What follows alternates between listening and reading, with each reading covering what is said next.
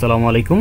আমি Mohammad Maksudul Haque Saju M S survey আপনারা দেখছেন সবাই এম এস সার্ভে টপিক তো আমরা আজকে সার্ভে রিলেটেড একটা টিউটোরিয়াল তৈরি করতে যাচ্ছি।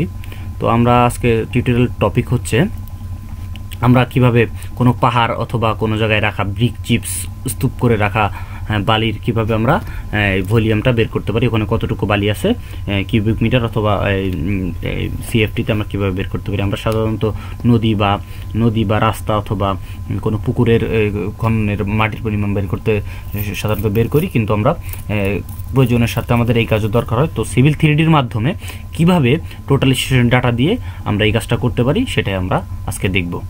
তো আমরা টোটালিশনের সাহায্যে একটা সিলেট স্যান্ডের একটা নমুনা কপি নিয়েছি। আমরা টোটালিশনের সাহায্যে সার্ভে করে আমরা সেই সেই জায়গাটা সার্ভে করে আমরা সেই জায়গার মাটির ভলিউমটা এখন বের করব। তো আমাদের সেই ডাটাটা আমরা এখন বের করছি।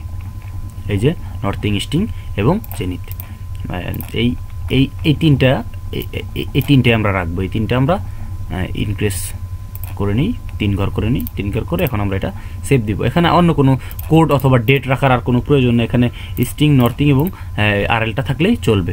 এখানে আমরা সেভ দিব save as save as as a desktop desktop as a আমরা সিএসভি কমা ডে লিমিটেড এই ফরম্যাটে অবশ্যই সেভ দিব।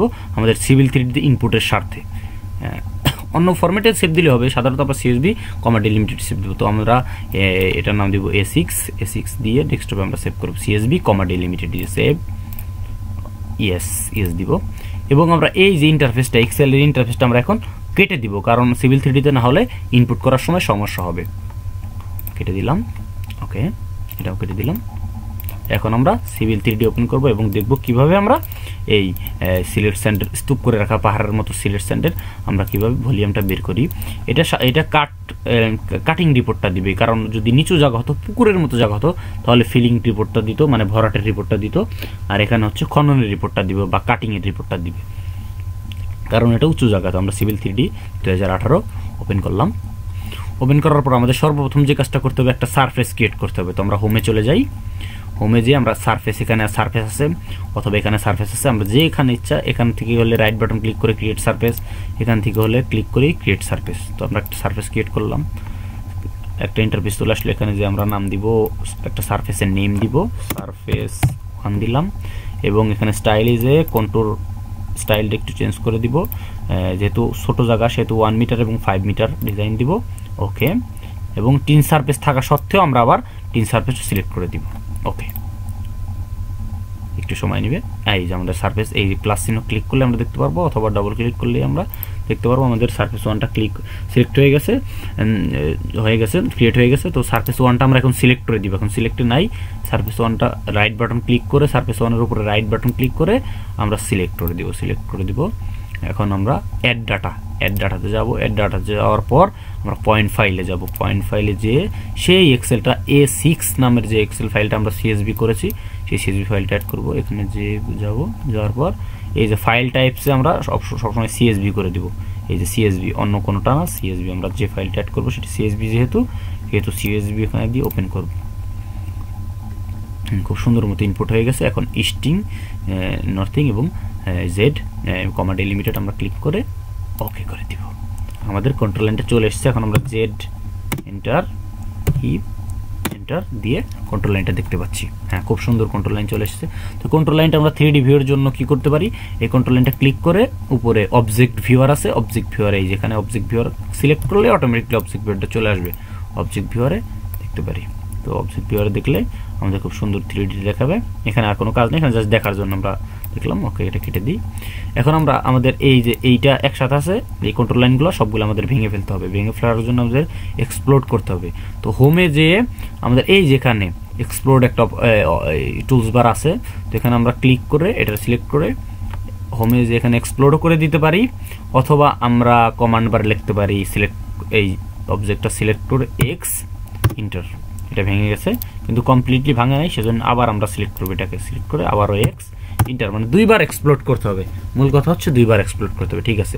এক্সপ্লোর করার পরে আমরা সারফেসে দেখতে পাচ্ছি যে সারফেসটা আমরা ক্রিয়েট করছিলাম, সেই সারফেসটা আমাদের নেই। আমাদের এক্সপ্লোর করার কারণে সেই সারফেসটা ভেঙে গেছে। তো আমরা আবার সারফেস ক্রিয়েট করব ক্রিয়েট সার্ফেস সার্ফেসের নাম দিব।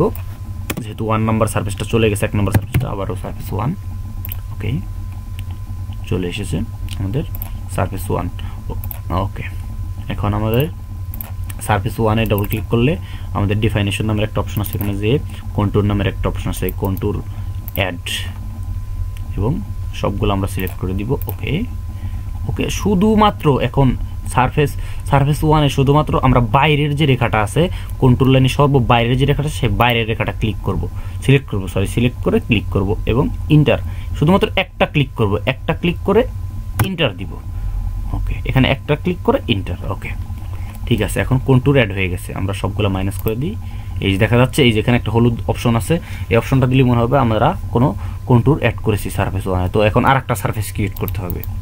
ক্রিয়েট সারফেসেস তো এই সারফেসের নাম দিব আমরা সার্ফেস টু এখানে কন্ট্রোল লাইন এক মিটার পাঁচ মিটার দেওয়া আছে। তিন সারফেস সিলেক্ট করা আছে ওকে দিব আমরা।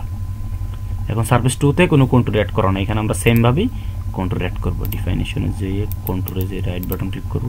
এখানে সবগুলো সিলেক্ট করা আছে ওকে এখন কি করব আমরা?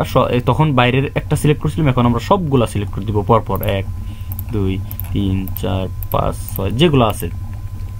তারপরে ইন্টার দিব। ইন্টার দেওয়ার পর আমাদের এখানে সারফেস অ্যাড হয়ে গেছে কন্ট্রোল অ্যাড হয়ে গেছে। তো আমরা এখন আর কোনো এখানে কাজ নেই, এখানে আমরা এখন আমরা অ্যানালাইজে যাব অ্যানালাইজ অ্যানালাইজ অ্যানালাইজে গিয়ে ভলিউম ড্যাশবোর্ড নামের একটা অপশন আছে, এই যে ভলিউম ড্যাশবোর্ডে ক্লিক করব, এখানে আমাদের ভলিউম ড্যাশবোর্ড চলে এসেছে, এখানে আমরা সকল রিপোর্ট পাবো। এখানে আমরা অ্যাড করব হচ্ছে ক্রিয়েট সারফেস এখানে আমরা কি? এখানে একটা ভলিউম ক্রিয়েট সার্ফেস আছে। ক্রিয়েট নিউ ভলিউম সার্ফেসে ক্লিক করে নতুন একটা নাম দিব surface volume V O L U M volume এবং কন্ট্রোল লাইনের এখন আর কোনো পরিবর্তন করার একদমই দরকার নাই। এখন ইম্পর্টেন্ট জিনিসটা হচ্ছে ভলিউম সারফেসে যায় বেস সারফেস বেস সারফেসে যায় আমরা সিলেক্ট করে দিব হচ্ছে সারফেস টু সারফেস টুতে কিন্তু আমরা সবগুলা কন্ট্রোল রেখেই সিলেক্ট করে দিয়েছিলাম। সেজন্য আমরা বেস সারফেসে সারফেস টুটা দিব। যাতে বেসটা ওইটা ধরে। এবং কম্পেশন সারফেস আমরা কি দিব? ওই এক নম্বরটা, যে বাইরের রেখাটা সেই বাইরের রেখাটা দিব। ওকে ওকে দেওয়ার পর আমাদের এখানে আর কোনো কাজ নেই। এখন ওকে দিলে আমাদের রিপোর্ট দিয়ে দিবে।